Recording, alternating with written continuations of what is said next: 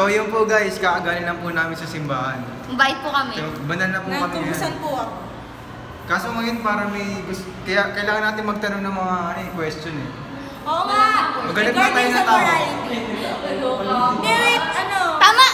Maghanda na tayo ng tao pwedeng pagtanong. Tara, tara, tara. Sino pwede? Okay!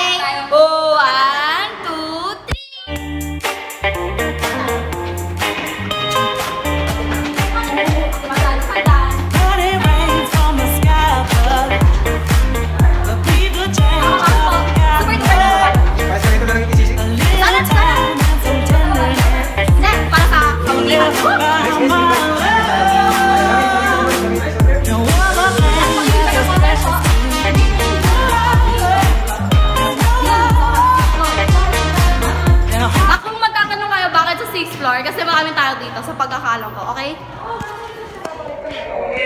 Oh! So, nakahanap na po kami ng mga tao. Actually, wala pa po talaga. Actually, aaganay na. Maghahanap pa lang po Maghanap na po kami. Sa katotohanan po, hindi po talaga kami nagsisinungaling. Naghahanap po kami ng tao. O ano, mga tao dyan? Mga tao dyan? Ay, kuya, interview, interview. Say hi! Hello, hello. Hello, Hello. po. Hello po. Wow! Ayun pa. Hi! So, Hello, hello, hello, let's hello. start with the interview na. So guys, seryoso namin na po namin si ate. So unang tanong, ano? Sa tingin mo ano ang morally right sa morally wrong? Para sa akin, ang morally right ay yung, yun yung nakabase na tama sa society. Tapos yung morally wrong, yun yung pwedeng tama sa sarili mo, pero yun yung mali sa kanila. Yun lang yung masasabi ko. Salamat ate. At ngayon sa pangalawa. Thank you! Ah, kuya, wait lang. Ay, gusto lang kami tanong. Ano yan?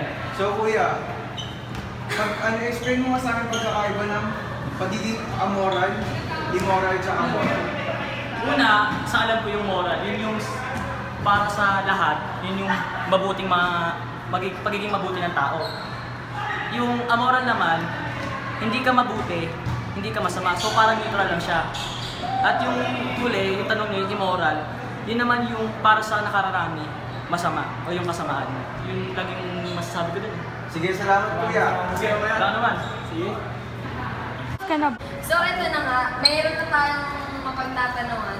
So, kuya, para sa'yo, bilang estudyante, ano ang morality sa mundo na ah, Puno ng mga taong dumedepende sa materialistic na bagay at sa mga pasarili nilang pangangailangan.